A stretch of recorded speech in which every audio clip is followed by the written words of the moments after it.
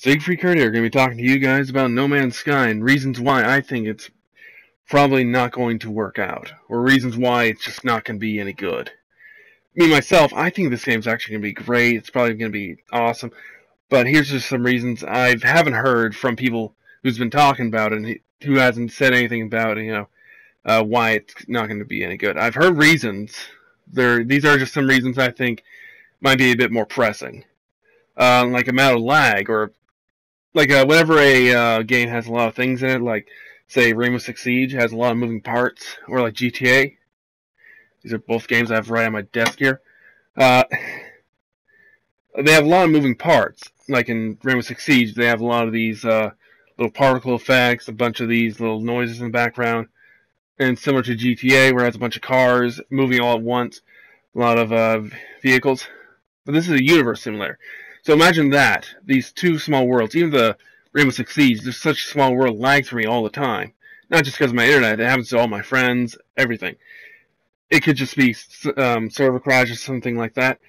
But imagine something like in Rainbow Six Siege or GTA, or say Minecraft. Even Minecraft crashes every once in a while, but it hasn't really done that too much for me since it's so simple. But this game has a lot of things loading in, like creatures like that uh, big uh, I don't know really call it a dinosaur on the thing. I guess technically not a dinosaur.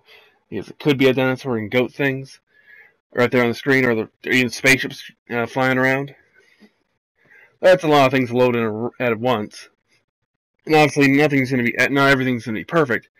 I mean, I bet you're going to, a lot of people are going to find like a bunch of uh, messed up AI in the first day or first week or month of the game, or even for the entire uh, game's release for me, for the entire game's history, they might find these some glitches or bugs. But even that, even if their uh, AI isn't any good, even if that, I still love this game.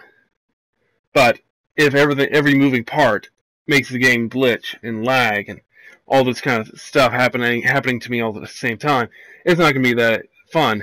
If every couple steps I get put back five more steps, every three steps I get put five more, it's not going to be any fun if that keeps on happening to me.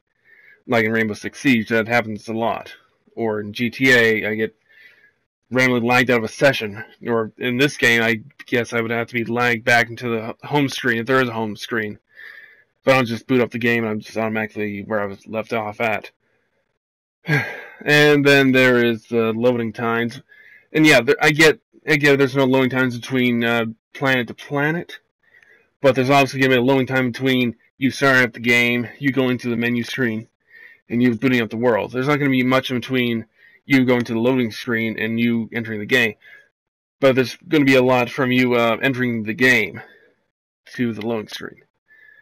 Or every time you die as well. They have loading times for that too. So you're loading back into your uh, some random place that you were just at. Say if you die in space, I think I think I've heard them talk about if you die in space, you either go into the nearest uh, little. Last time you were on a planet, there's like little save spots, and every time that you're in space and you die, you go to a nearest space station. I'm not sure which one happens depending on the amount of time. There's, there's probably an entire algorithm I gotta figure out for that. But, yeah. So yeah, go into space, you fly away, far, far away from any uh, known location, and then you die. But then you gotta load. Then my fear is I'm I might be loading them there longer than a Skyrim loading screen or a Oblivion loading screen or a Fallout loading screen or any Bethesda loading screen. So if that happens to me, I, am that's not gonna be enjoyable. I would probably dislike that experience. I would have a bad time, and overall, I probably would just lose interest in the game. So yeah, here's these are just a few uh, points I'm making about No Man's Sky. I hope you guys enjoyed the video. Remember to like, subscribe, comment, and have a good one. Bye.